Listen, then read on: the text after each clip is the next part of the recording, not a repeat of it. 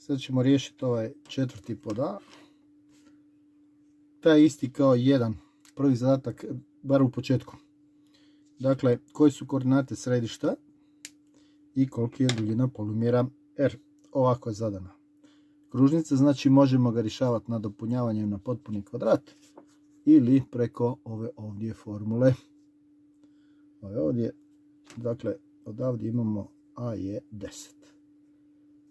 B je minus 2 i C je 6. Ako vas tjeraju da radite na potpuni kvadrat, onda pogledajte video koji ovaj ovdje taj, kako sam ovog dobio na potpuni kvadrat. Dobro. I sad imamo A je minus 2P, B je minus 2Q i C je P na kvadrat plus Q na kvadrat minus R na kvadrat. Dobro. Ubacimo. A je 10 je minus 2p, pa je 2p jednako minus 10. Ovaj mijenja stranu, mijenja stranu, podijeljena sa 2, p je minus 5. Ovdje ubacimo minus 2 je minus 2q, podijelimo sa minus 2, dobijemo 1 je q, znači q je 1. I sad to ubacimo u ovu. c je koliko? 6 je p na kvadrat minus 5 na kvadrat plus 1 na kvadrat minus r na kvadrat. D. I sad imamo 6 je 25 plus 1 minus r na kvadrat. Ovo je 26 ide ovamo pa je to 6 minus 26 je minus r na kvadrat. Znači dobijemo 20 minus 20 je minus r na kvadrat pa je r je 20. A kakvih? Na kvadrat. Ili r je r je korijen iz 20. To je 4 puta 5 je 2 korijen iz 5. Možemo ga ovako ili ovako pisati, sve ne. Dobro, sad smo to dobili kako glasi jednadžba tangente zadnje kružnice usporedna s pravcem.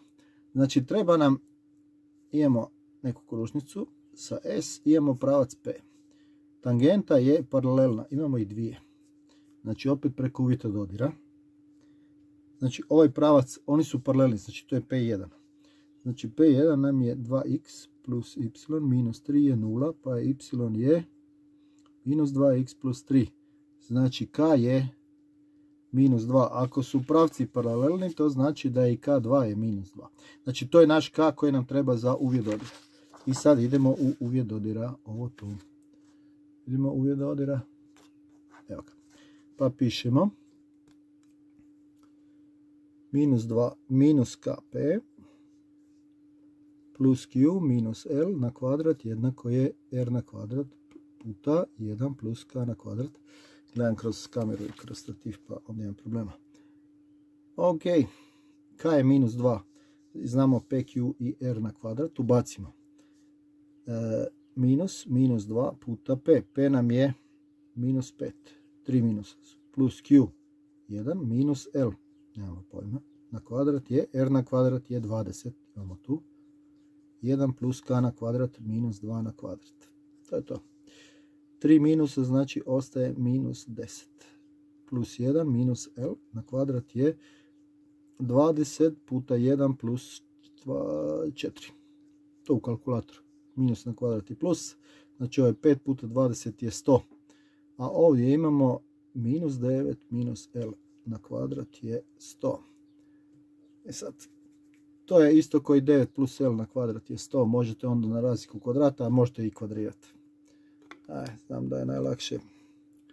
Kodrirati 81 plus 18L plus L na kvadrat je 100. I sad to je L na kvadrat plus 18L. Ide ovamo, znači to je minus 19 jednako je 0, ako sam dobro izrišavao. Dakle, to je kvadratna jednadžba. To znate riješiti, koristit ćete kalkulator. Znači, jedno rješenje je jedno rješenje je 1, L je 1 i L je minus 19. K nam je 2.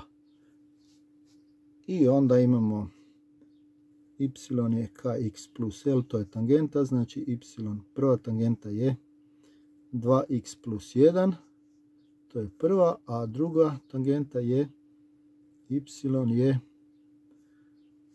2x minus 19. Eto. To je to. Sad ćemo još to kvrcnuti u kalkulator.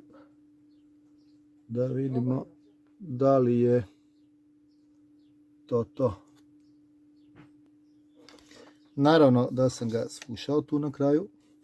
L je, L je 1 i L je minus 19, ali K je minus 2. I onda su nam rješenja minus 2x plus 1 i minus 2x minus 19. Naš konačni odgovor provjereno u GeoGebri. Sad ćemo to vidjeti. Odgovor je 100% točan. Tu su nam ove jednadžbe. A ovdje nam je slika. Dakle, to je to. Jedno što sam krivo prepisao, naravno, kad gledam kroz stativu. Ajde, bit će dobro. Ne da mi se popravljati.